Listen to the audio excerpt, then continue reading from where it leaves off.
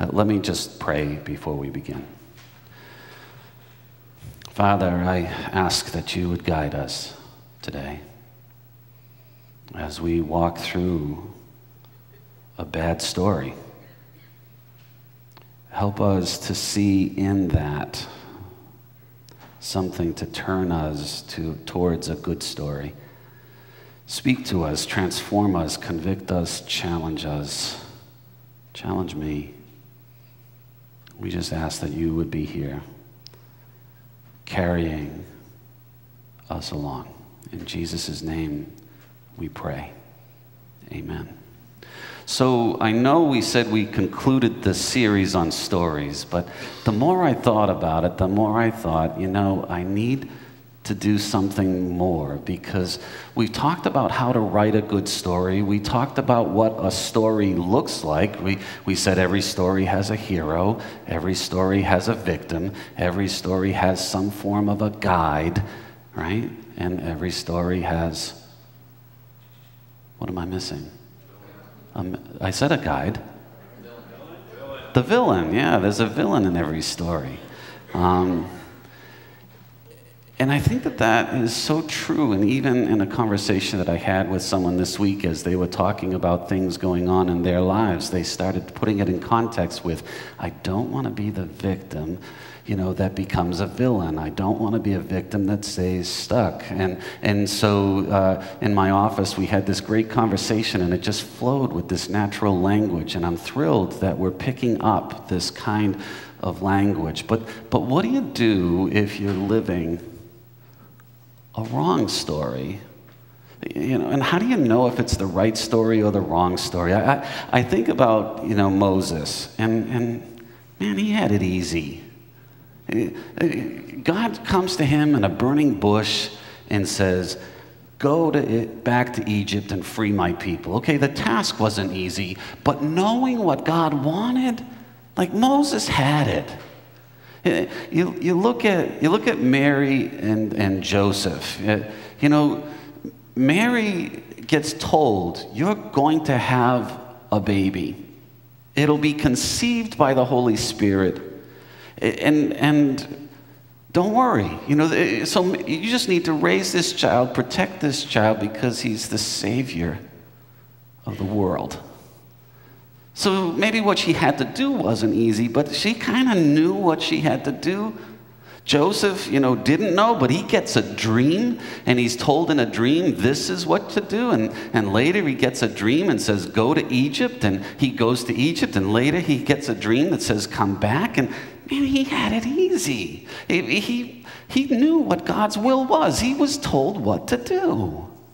Paul gets knocked off of his horse. His name is Saul at the time. He gets knocked off of his horse, he, and, and, and the voice from heaven speaks to him and says that you will be my witness to the Gentiles. And, and Paul maybe didn't have an easy job, but, but he knew what he was doing. God told him what to do. And then I start thinking, that's, what about us? I mean, one, probably one of the most common questions I hear from students and, and I hear from you is, how do I know God's will in my life?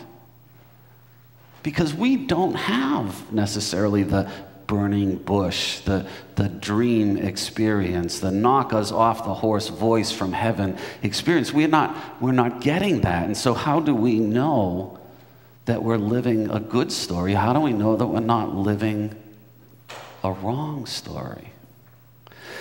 At the time of the judges, Israel, the nation of Israel, was living a wrong story. The ending, the last verse in, in Judges says this that in those days Israel had no king, everyone did as he saw fit. Another translation says, Everyone did what was right in their own eyes. And, and this is what Israel was. They were, they were living a wrong story. And there's this character in the book of Judges. His name is Jephthah. And you know what? He was living the wrong story too. We're going to spend some time talking about this character Jotham. And what I'm going to ask you to do is ask yourself these same kind of questions. Is am I edging towards living a bad story? Am I am I falling into this trap? And and Jotham was a victim. You know, when we talk about the story, Jotham was a victim. And, and, and here's how it begins. This is what we learn about uh, I'm, Jephthah. I'm saying Jephthah. I mean Jephthah. Um, Jephthah uh, the Gileadite, boy, there's Gileadites, Hittites, termites. Uh, it's, it's, not easy. You need a seminary degree just to tackle some of these. So, so Jephthah, the, the Gileadite, was a mighty warrior. That sounds good. He's a mighty warrior. But that's what he became. The scriptures tell us more. His father was Gilead. His mother was a prostitute. Well, that complicates things, especially, especially back at this time. Gilead's wife also bore him sons. And when they were grown up, they drove Jephthah away. You're not going to get any inheritance from our family, they said, because you're the son of another woman. So, what can we take from this? Well, it's against the custom. a son gets an inheritance, a son is involved. And, and so, why is it that the son, uh, Jephthah, why is it that something is happening? We can only assume that his father died and, and his brothers are older, and he has brothers from uh, the person who was married to Gilead, and we have Jephthah, who was the son of a prostitute. Um, and so they have this problem because they don't want him getting any of the inheritance. And so they uh, probably would go to the town elders, which were probably corrupt, and they created a law and an edict that disinherited him and caused him to be at risk. And so Jephthah fled from his brothers and settled in the land of Tob, where a group of adventurers gathered around him and followed him. The NIV is so kind here a group of adventurers. If you look at other translations, the ESV translation would say worthless people.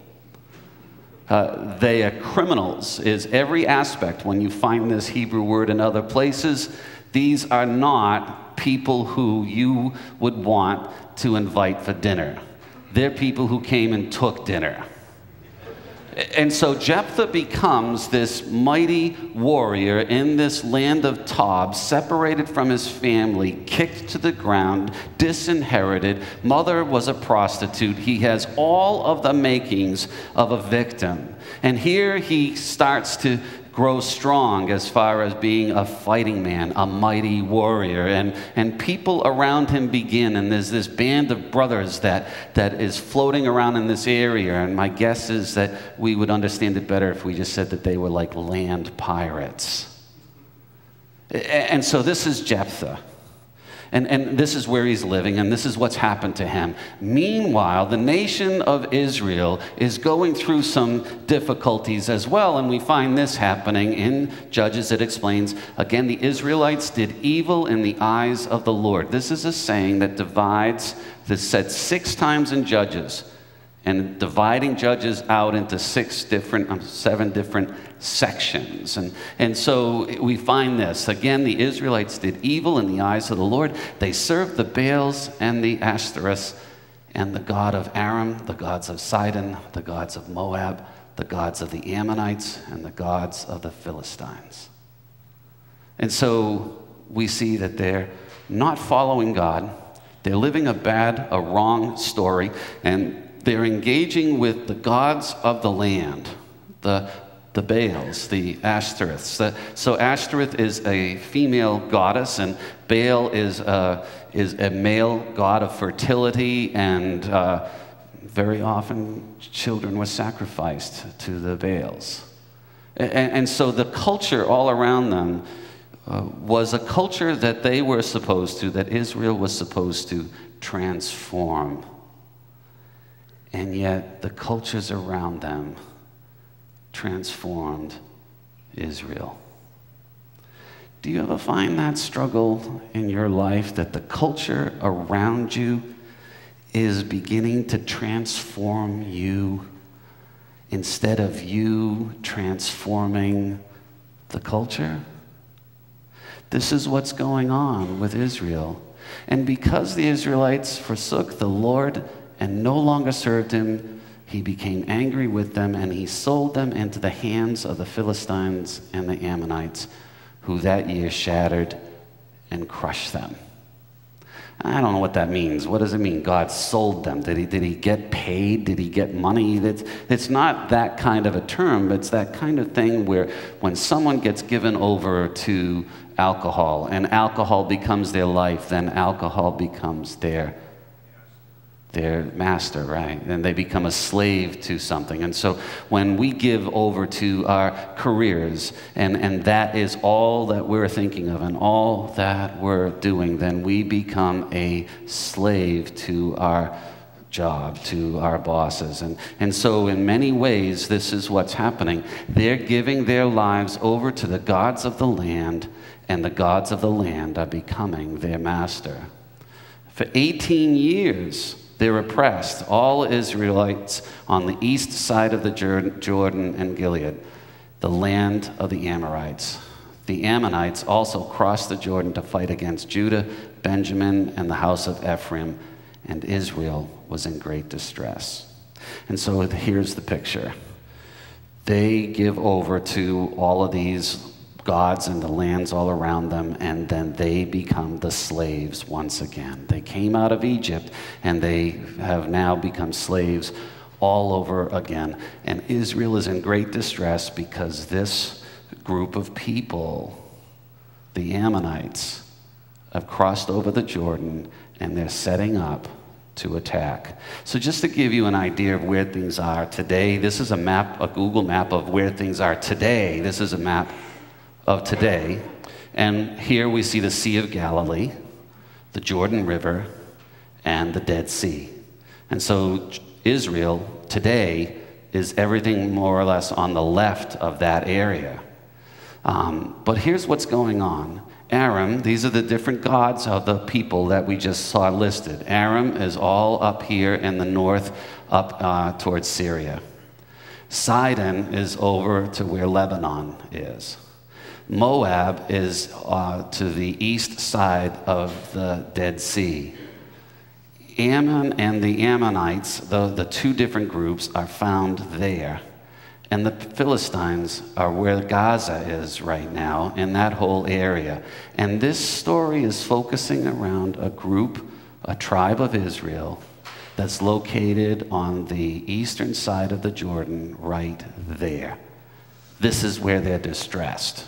And what's happening now is the uh, Ammonites have crossed over the Jordan and they're setting up to uh, attack these Israel, which is what's there in black. And this is the Ammonites are the ones that are doing all of this. And Tob is probably around there, maybe further north, and this is where Jephthah is living. So, this is kind of a map of what's going on. And so I just wanted you to see the idea that they are surrounded by their enemies. And it's not a lot has changed. Um, the, the capital of Jordan is Amman. So, so that still is uh, there today. And so all of this is happening. Uh, Jephthah has got his kind of life on his own. He's just living, living the life like, and, and, you know, so many different movies that are out there. Somebody's in prison, you know, and somebody, you know, Rambo's in prison, and they, they come to Rambo and they say, "We have a special mission for you, and if, if you can conquer, you know, this, then then we will set you free. We'll we'll we'll we'll, we'll cancel out your sentence." Or or somebody is, you know, is exiled and, and somebody comes and says we need you. If you come back you know we see it over and over again in, in different movies. Well that's what's about to happen here. The israelites cried out to the lord we've sinned against you forsaking our god and serving the baals. And the lord replied when the Egyptians, the Amorites, the Ammonites, the Philistines, this uh, Sid, uh, let's see, Sidon, so Sidonian, Sidonius, uh, a word, the Amalekites, the Moabites oppressed you and you cried to me for help. Did I not save you from their hands? So this history of all of these different, you know, nations, and, and God delivers them. And then he says, But you've forsaken me and served other gods, so I will no longer save you. Go and cry to the gods who you've chosen. Let them save you when you're in trouble. But the Israelites said to the Lord, We have sinned. Do with us whatever you think best. Doesn't it sound like when you were a kid and you didn't, you know, you, you were told there was going to be consequences, consequences, consequences, you ignore it, you ignore it, and then all of a sudden you're cleaning your room, you know? what is it that made you do that? Is it because you had this change of heart?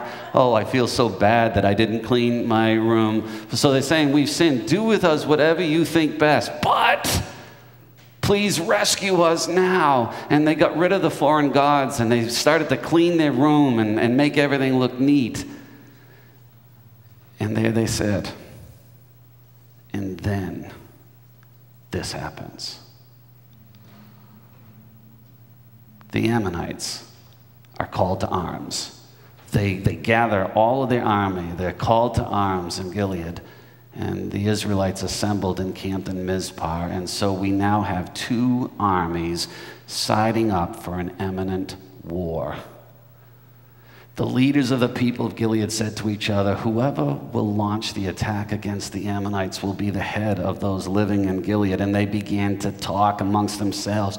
Who, who could actually lead an army? Who is strong enough to take on such a formidable force? Who could we get? Who? And then they come crawling back to Jephthah. And we find this. Sometime later, when the Ammonites made war on Israel, the elders of Gilead went to Jephthah from the land of Tob. Come, they said be our commander so you can fight the Ammonites. Jephthah said to them, wait, wait a second, wait a minute, wait a minute, wait a minute, wait a minute, let me get this straight. Didn't you hate me and drive me out from my own father's house? Did, didn't you disinherit me? Didn't you pull some legal maneuvering and everything that, that forced me to flee from my life to Tob and I've been living here all this time? Is, isn't, aren't you the same elders that did that to me? And, and the elders of Gilead said, Nevertheless, uh, we're, we're turning to you now.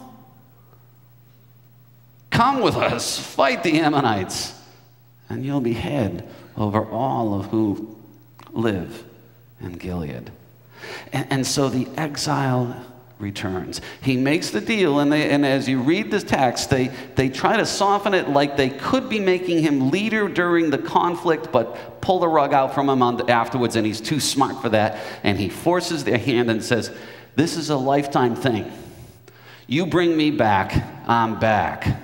And so they move him to, to Mizpah and, and the new house. And imagine his family going from running in caves and, and different places. And he, and he brings his family back and they have a, the presidential suite. You know, they, they've got a house that has, you know, more than anything that they've had in the past. And, and this is a wonderful thing. And, and, and so Jephthah tries to diplomatic approach. And what we see in Scripture is that he sends a messenger, must have written it down because it's hugely detailed. He sends a messenger and, and he says, Why are you making war against us? I don't get it. And, and so they, they send the message back and they say, When you guys came up from Egypt, you took our land.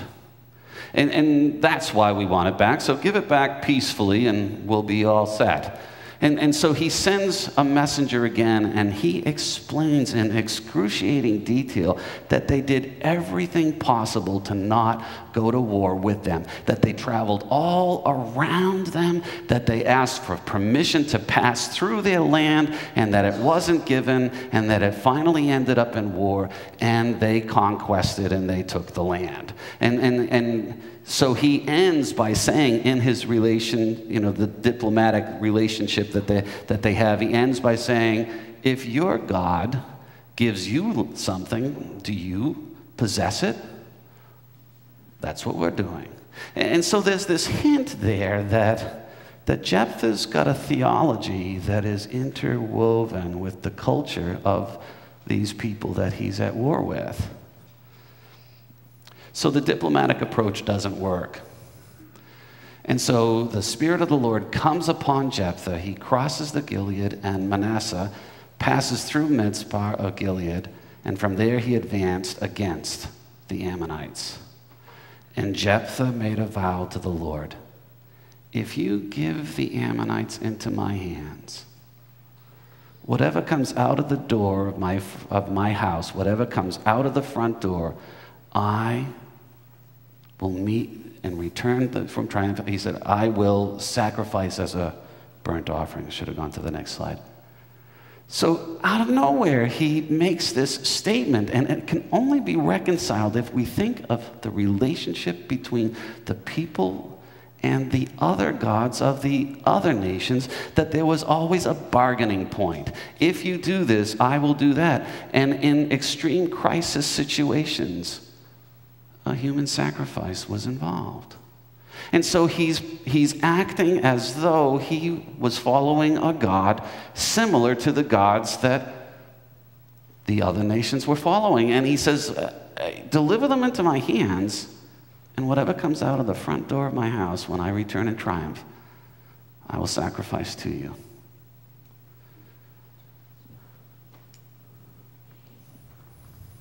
So 20 cities fall underneath Jephthah's rule. He attacks and he conquers, and 20 cities fall, and he comes home. He returns in victory. And when Jephthah returned to his home in Mizpah, notice he's not in, in Tob anymore, he's in Mizpah. Who should come out to meet him but his daughter dancing to the sound of tambourines? She was an only child. Except for her, he had no son or daughter.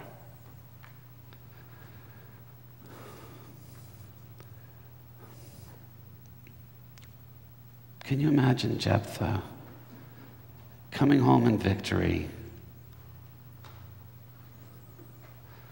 having a house full of perhaps servants? What are the odds? What, what are the odds that the person who comes out of the front door dancing with a tambourine would be his only child, his daughter?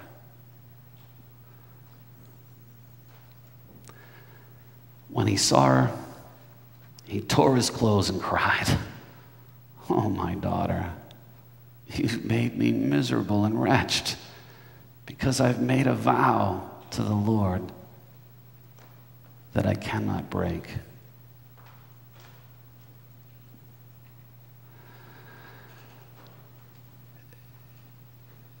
And so she says to him,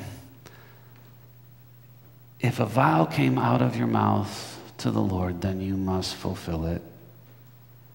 Give me two months to go and roam among the hills to mourn my virginity.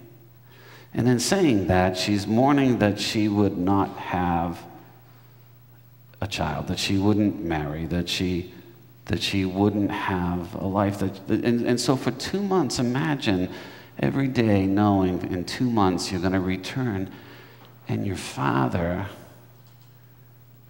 is going to sacrifice you on fire. Imagine Jephthah for two months knowing that he'll see his daughter again, and when he does, he's going to execute her. He's going to sacrificer. This is a wrong story. What is this even doing in the Bible, anyways? I, I'm really wondering why would this even be included? I bet there was a lot of other people who did wrong things and they don't find themselves in the pages of this book. Why is that even there? And, and, what's really interesting is that when you read Jewish commentary, they don't talk about Jephthah. But, but the end, his daughter, his daughter is remembered in Jewish tradition.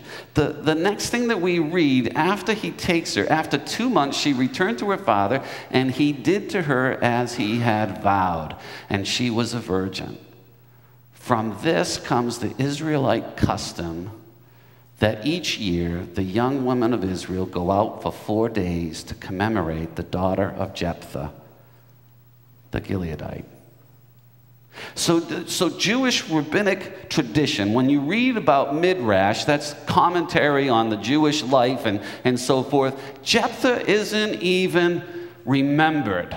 The one who's remembered is the innocence of this daughter whose life was cut short, this only child who was sacrificed on the fire. I just can't stress this enough. This is a wrong story. How do we get there? How do we get there? Have you ever said something that just locks you into doing the wrong thing? What do you do when you're stuck like that? How do you get out of a situation like that? I mean, couldn't couldn't Jephthah have done something different? Couldn't he have sacrificed himself? Couldn't he have done something? Couldn't he have done something? And, and, and we look at the scriptures, and, and, and I have to believe that Jephthah knew the scriptures because when he responded to the message, you know, of why he was uh, in the right, you know, when he was sending to the Ammonite king, when he was telling him, he gave specific detail about everything that happened as the tribe of Israel moved from Egypt up and around. Everything. He knew what was going on. It wasn't just that he was reading a history book and ignoring the Bible. In this day, the, the Bible and the history, uh, God's word, was all that it was. So he knew Scripture. He must have known Scripture. And, and, and here there's this verse in Numbers that he must have focused on. When a man makes a vow to the Lord or takes an oath to obligate himself by a pledge, he must not break his word, but must do everything he said. Locked in. He made an oath. He had to complete it. If, if you just look at his oath and you look at this verse in Scripture, you have to agree with me that he was locked in. He had no choice. He had to take his daughter's life. Maybe something else was available.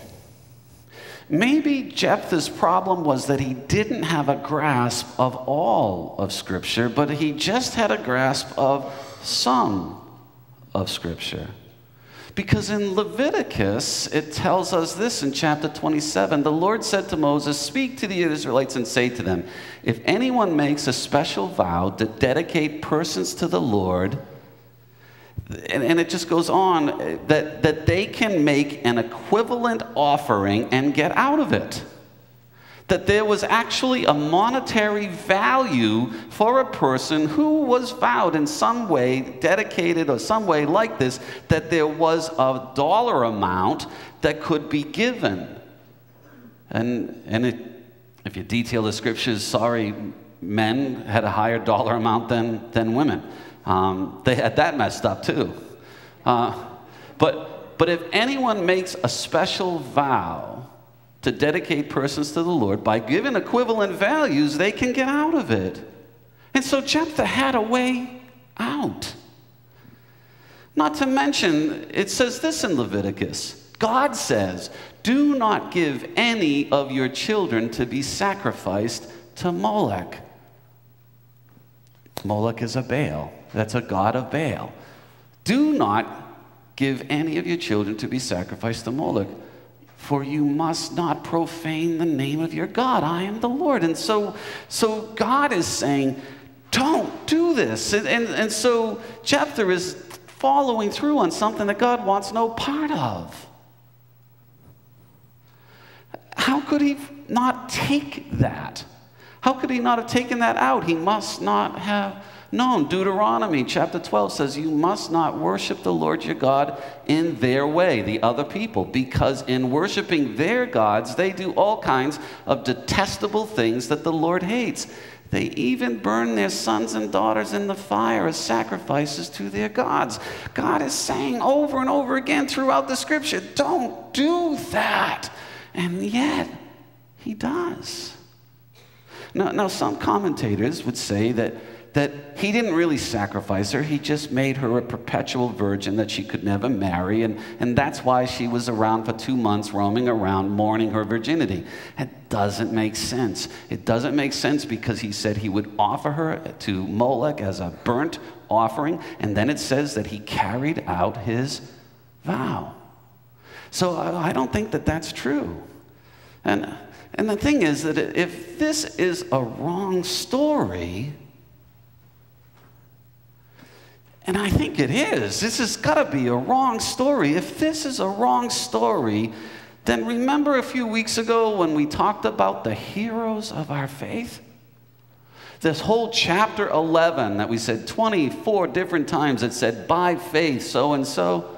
The heroes of our faith in, in Hebrews chapter 11 in the New Testament, the heroes of our faith lists out this and what more shall I say? I do not have time to tell you about Gideon, Barak, Samson, Jephthah, David, Samuel, and the prophets who, through faith, conquered kingdoms, administered justice, and gained what was promised. What? Jephthah is listed in the heroes of faith? and he doesn't understand that God doesn't want you to sacrifice your kids, and, and he offers his kids, his, his only child, he offers to the fire. What is he doing in there? Why is he in there?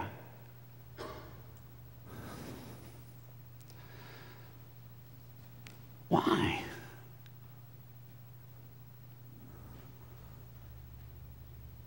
Why?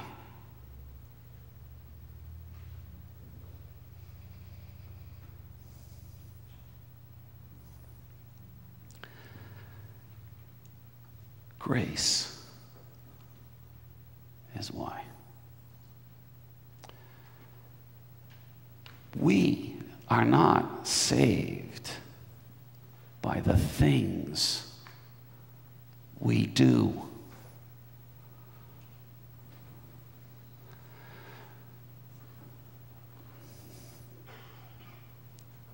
We're saved because of what Christ has done. It says in Hebrews, at the end of all of this, it says they were all, all of this list, this huge list of names, they were all commended for their faith. Yet none of them received what had been promised.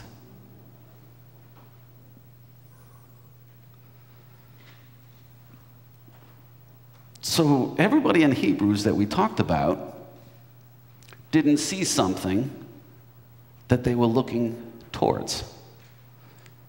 Let me say that again.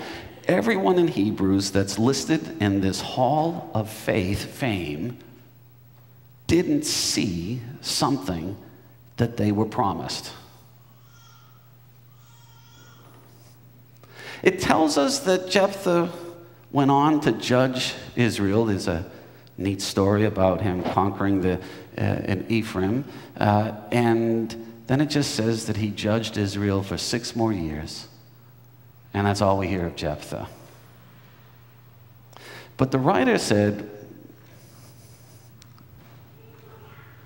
the writer said, and what more shall I say? I do not have time to tell you about Gideon, Barak, Samson, and Jephthah. Could there be more to Jephthah's story that's not revealed. Jephthah is listed in Hebrews because he saw something that he didn't receive. I wonder. I wonder if perchance Jephthah had a change of heart after doing the worst thing that anyone could think of doing. I, I wonder if he had a change of heart. I wonder if he cried out to God. I wonder if God shared with him about something that would happen that he could identify with, something that Jephthah could identify with that would change him completely. I wonder if something happened where God said, and I don't see any other way his name could be listed here because it says that he was looking forward to a promise, and we're told that that promise is what Christ did on the cross. I, I wonder if God revealed to Jephthah that God would send his only son to be sacrificed. and it isn't an exercise that didn't accomplish anything. Jephthah sacrificed his daughter and it didn't accomplish anything. It's like, it's like it would be like me walking by this, the, the, a building that's on fire and, and, and, and asking, is everybody out of the building? Is everybody out of the building? And everybody says, yes, we've checked everything. There's no one in the building. And I say, well, I'm going in anyway. And I run into the fire and die.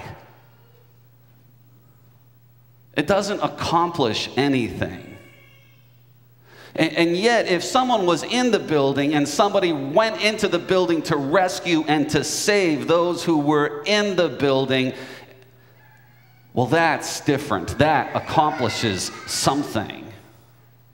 And, and could it be that, that Jephthah was made aware of a sacrifice that was to come that would not just accomplish something, but would forgive something? That would transform something. Uh, what if Jephthah was transformed by grace?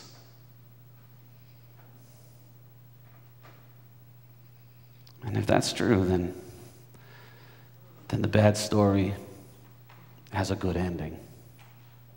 And so, my challenge this morning, as I just wrap things up quickly, perhaps you're wrestling with something this morning where Either you know you're out of line, or you don't have a big enough grasp of what the scriptures are telling you. What can we learn from Jephthah's story? We need to be students of Scripture. We need to understand the whole of God's Word so that we don't pick and choose something and leave out the main thing. Are we really watching and, and studying and applying Scripture in our lives. Ask yourself the question when was the last time I really read it and ask God, how does it impact me? Because if we don't understand Scripture, we're destined to do similar things than Jephthah. We may not sacrifice our children, but we may go down the wrong path. We may live a wrong story. But if we are aware of what truth is found in Scripture, we, we can turn that around and live a good story. Jephthah had every reason to turn out bad. In some ways, we can't blame him for what he did. He was a victim of the culture around him, and yet he finds himself listed in Hebrews 11. And we said in Hebrews 11 that Christ is revealed at the top and the bottom of that chapter as being the author and the perfecter of our faith. Let's pray. Lord, you are the author and perfecter of our faith. And, and Lord, you have given us scripture to guide us, to be our guide in the story, and yet so often we just set it aside. Lord, help us. Help us to be better students. Help us to be uh, mentored by you, willingly mentored by you. And, and help us to change our wrong stories to good stories, stories that advance your kingdom and have a purpose. Help us. We desperately need you. I need you. In Jesus' name we pray. Amen.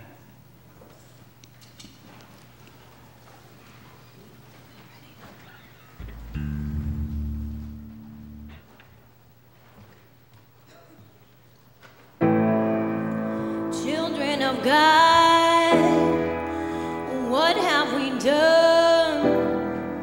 We've taken the truth and made it a weapon. How easy we forget what drew and pulled us in.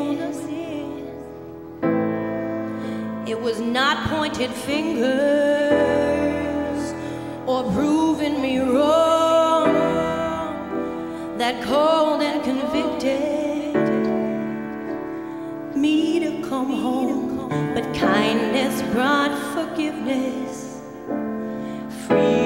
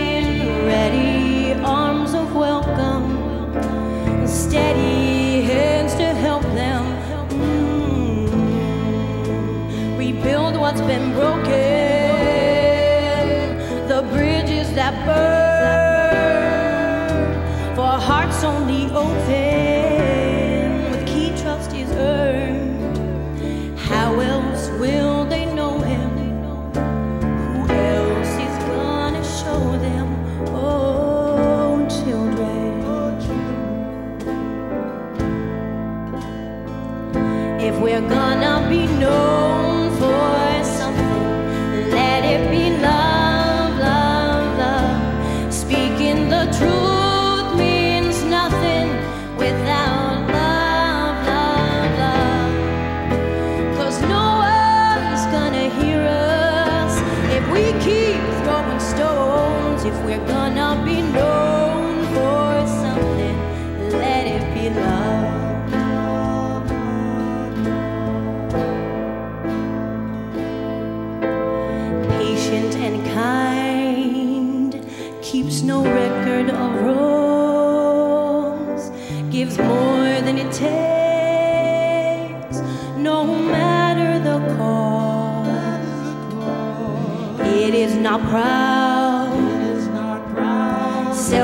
selfish or rude, lays down its life for its enemies too.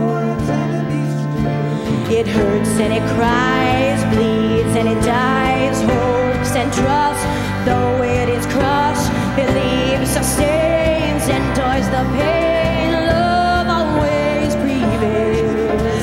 It sings with the songs of victory, plants gardens where deserts used to be, wastelands alive with living